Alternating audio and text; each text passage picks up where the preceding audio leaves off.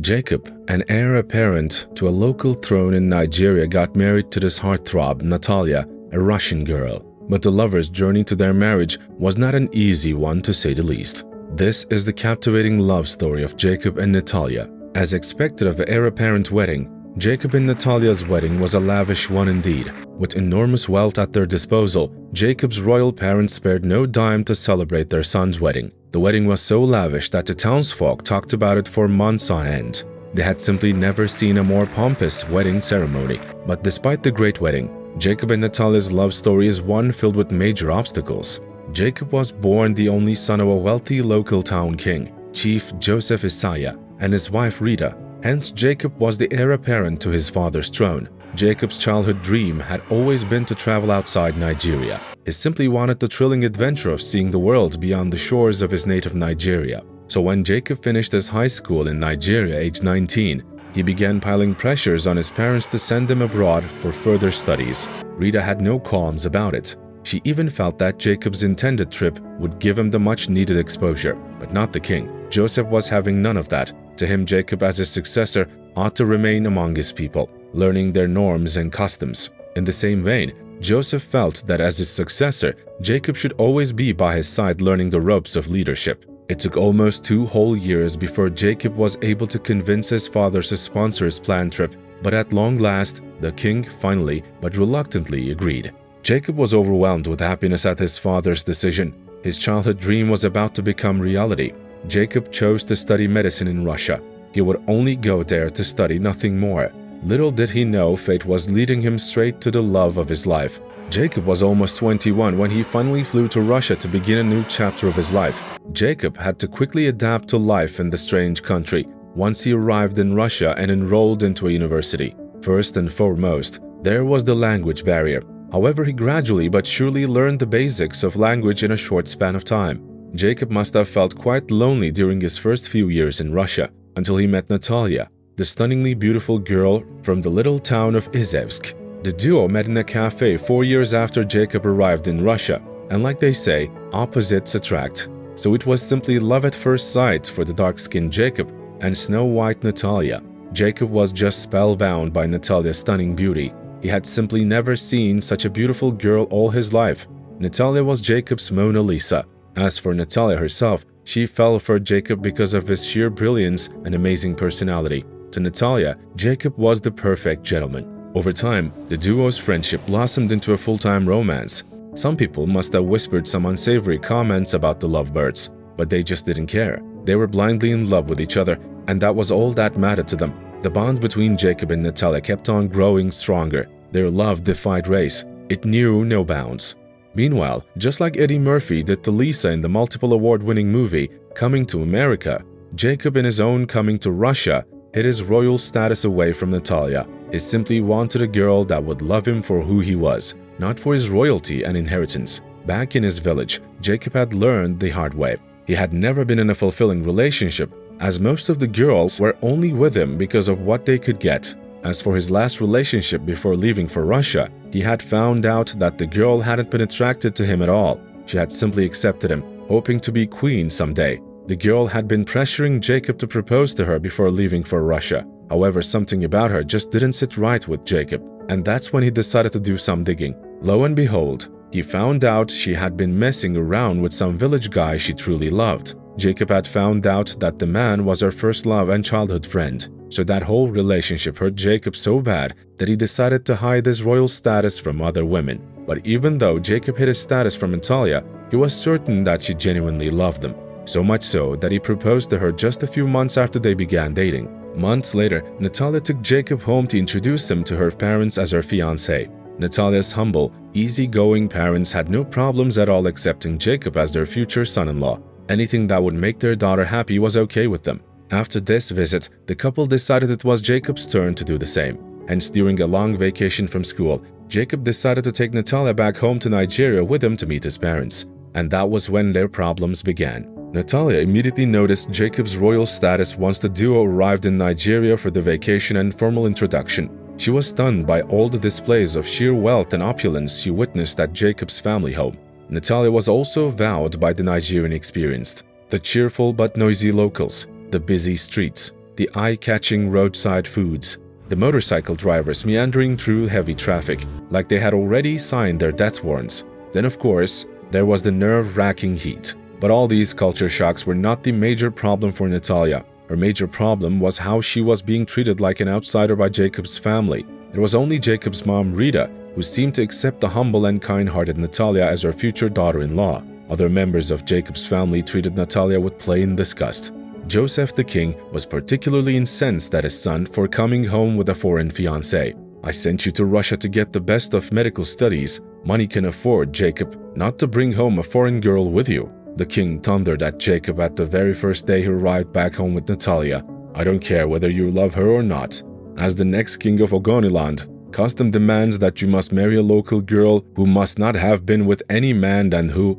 Joseph was still speaking when his son harshly cut him off telling him he didn't care about some outdated customs. He would marry Natalya, and that was all there was to it. Before his father could reply, he stormed off. From that day henceforth, Joseph decided to make life a living hell for Natalya throughout her stay in Nigeria. He became openly hostile to her, never hiding his utter disgust for her. Moreover, Joseph introduced all his retinue of palace servants and attendants to treat Natalya with the worst form of ill treatment they could muster. All the palace's attendants were real torn in the flesh of Natalya throughout the one month that she stayed in Jacob's family home. None of them ever greeted her, and whenever she did greet any of them, the person would just ignore her like she wasn't there. Moreover, they never attended to her in any form or manner. They simply ignored her, even when she asked them a question as simple as where to get water or other essentials in the palace. The palace attendants simply treated Natalya like an outsider, like some unwanted guest who had overstayed her welcome. She would always overhear the palace attendants call her ugly names such as White Witch and Gold Digger whenever she passed by. Those ill treatments severely hurt Natalya, and she would always bitterly complain about them to Jacob. Jacob would always assure Natalya that his father and accomplices would soon get tired of their antics and finally accept her as his future wife. But the exact was the very opposite, as the maltreatments metered out on Natalya from the palace attendants seemed to increase by the day. One Sunday morning, Jacob had driven Natalya to church. After the church service, Jacob had dropped Natalya off at the palace gate. She was already worn out as a result of the severe hot afternoon weather, which she was not yet fully accustomed to. Then Jacob had hurried off to the market to purchase the foodstuffs and essentials that they both needed for the week. The exhausted Natalya, who was dying to go inside the house and have a cold shower and a much-needed rest, promptly rang the gate bell. The security guard appeared at once opened the peephole section of the gate, and peered at Natalya for a while. Then he quickly closed the peephole and returned to whatever it was he was doing without opening the gate. Natalya was stunned beyond belief. So she quickly rang the bell again, but this time the security guard didn't even bother to appear at the peephole again. Natalya spent almost the next hour ringing the bell, but all to no avail. At last, the really exhausted Natalya sat down on a raised platform and almost fell asleep out of sheer exhaustion. Barely an hour later, Rita came outside the gate, and that was when she found Natalya sitting there. Rita went red with anger at once. She screamed at the security guard. The guard was about to explain that he was just following the king's orders, but Rita was no longer listening. She gently pulled Natalya up and took her inside the palace at once. Rita then offered Natalya to help her freshen up with a bucket of ice-cold water and a clean towel. Natalya amply thanked her for her kindness, but turned down the offer and retired to her room. When Jacob returned in the evening, Natalya didn't even mention a word of what had happened to him. But she had a plan, a secret plan. She had had enough from Jacob's father and his attendants. Natalya just couldn't take it anymore, so she had decided to leave for Russia the following day without even telling Jacob. The following morning, Jacob kissed Natalya on the forehead as usual before he stepped out of the house. His family had huge hectares of farmland with hundreds of workers in the village and since Jacob had come back home, his father forced him to visit and supervise the farmland every morning. Jacob, being the obedient son that he was, obeyed his father, so he would always leave for the farmlands in the mornings and come back in the late afternoons. If only Jacob had known that Joseph had ulterior motives about sending him to the farms. Joseph simply wanted his son out of the house as often as possible, so his attendants would keep tormenting Natalya. So that particular morning that Jacob had left for the farm, Natalya quickly dashed to their room and packed her stuff. Then she slipped out of the palace with her bag and boarded a taxi. The taxi took her on a three-hour trip to the local airport in the neighboring city. From the local airport, Natalya flew to Lagos, where she spent three days in a hotel. Four days after she left the palace, Natalya was on a flight bound for Moscow, Russia. Imagine Jacob's utter horror when he returned back home that afternoon and his love, Natalya, was nowhere to be found. Worse off, all Natalya's stuff was gone too. Jacob was stunned beyond belief, so he immediately dropped the bag he was carrying on the bed. The bag was laden with local delicacies he had brought for Natalya from the market. Just as Jacob dropped the bag, a white piece of paper lying on the bed caught his attention. The note was from Natalya, simply informing him that she was fed up with his family's harsh treatments. Hence, she was returning back home and that she needed some space. After reading the short note, Jacob flung the paper away and stormed over to his mom's room. Jacob stammered to his mom about Natalya's note. Rita quickly figured out that Natalya must have decided to leave after the locking out incident the previous day, so she simply narrated everything that had happened to her son. Jacob didn't even allow Rita to finish her narration before he stormed into his father's palace hall. The king was receiving some VIPs at that very moment. But Jacob didn't even care. He stormed right towards his father and in a venom-filled voice harshly demanded why he gave his attendants the direction to torment Natalya. Joseph was stunned beyond words at his son's audacity, but when he recovered himself, he simply said, Yes, because as my successor tradition demands that you pick a local girl as a wife, not some whites. Jacob rudely interrupted his father and thundered at him. Look, father, I'm ready to sacrifice the throne for Natalya, and if you don't accept her as your daughter-in-law, then I'm never going to step foot in this country again. Never. Mark my words. With that, Jacob stormed out of the hall just like he had come in, much to the bewilderment of his father's dignitaries. As for Joseph, he kept shouting in obvious anger, Come back here, Jacob. But Jacob was gone. Jacob packed his stuff and flew to Lagos that very afternoon. Five days later, he was on a flight to Moscow, Russia. It was late evening, and Natalya was preparing to go to bed when she heard a knock on her door. She quickly opened the door and standing right there was none other than the love of her life, Jacob. The lovebirds stood there for a while staring at each other. Then Natalya suddenly turned away sharply and went into her room. Jacob followed closely behind her, and as Natalya turned towards him, Jacob pleaded with Natalya to forgive his father for all the ill treatments he and his attendants had subjected her to. Natalya said nothing. She just stood there and stared down at him. Then Jacob said, I've decided to give up my right to the throne just for you, my love. That revelation really did melt something inside Natalya's heart. You did what, Jacob? She shouted in sheer shock. And when he told her again, Natalya was crying mildly now. She really did love this young man, and he had just proven to her how much he loved her and valued her. The lovebirds flew to each other at once and hugged tightly. They remained in that tight embrace for what seemed like ages, with both professing their undying love for each other. Barely two months later, Jacob's father called him one night and apologized to him for the way he had treated Natalya.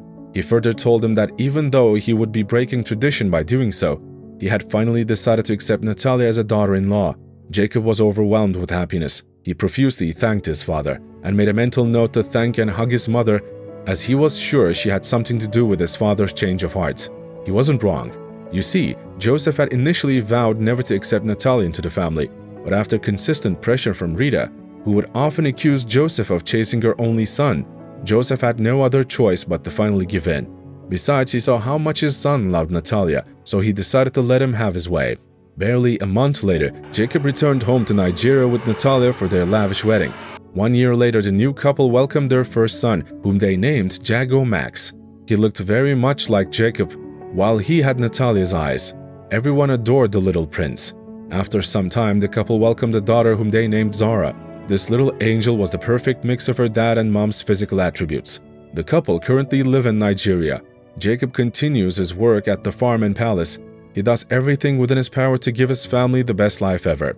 As for Natalya, she maintains a personal blog on Instagram. She created lifestyle content about what entails to be married to a Nigerian and raise kids in Nigeria. There are still so many naysayers expecting the couple's marriage to crash as they believe that their love is transactional. However, Jacob and Natalya are doing their best to prove them wrong.